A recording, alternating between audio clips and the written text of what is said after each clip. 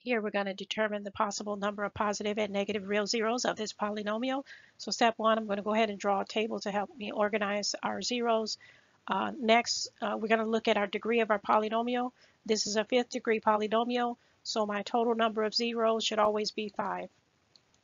Next, we're going to uh, start with determining how many positive zeros we have. All we have to do is look at the polynomial the way it is and see how many times the sign changes. Uh, so actually in looking at this polynomial, uh, all of the signs are positive, which means there were no sign changes. So that means we're not going to have any positive real zeros. So we put a zero here. Now let's find out how many uh, possible negative zeros. To determine the number of negative zeros, simply change the sign of all odd degree terms, then count how many times the sign changed from one term to the other. Let's see how many odd degree terms we have. We have three odd degree terms. We're going to go ahead and change their signs. And now we're going to count how many times the sign changed. From first to second, did it change? Yes. Did it change? Yes. Did it change? Yes. Did it change? Yes. Did it change again? Yes. How many times did the sign change? Five.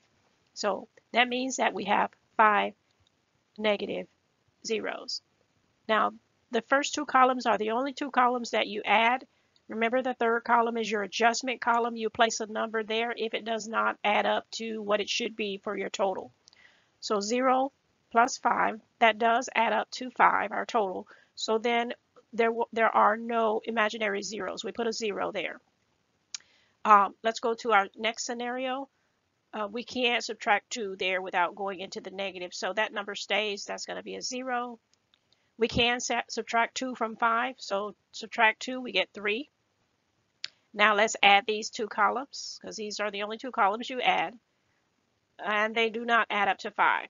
So what number do I need here so it adds up to 5? Yes, a 2. Going to the next scenario, again we're going to put a 0 here because you can't subtract 2 without going into the negatives. How about here? Can you subtract 2? Yes, we can subtract 2 and that'll leave us with 1. Okay. Um, does that add up to 5? No, that doesn't add up to 5. That's only 1. So to make that add up to 5, what do we put here? Yes, a 4. Okay, how do you know how many scenarios? Well, these are the only two columns that you're going to use as a judge of creating more scenarios. And neither one of these, I can't subtract 2 anymore without going into the negative. So that means I'm done. So by Descartes' rules of sign, the possible number of positive zeros, there are none. So you just say 0.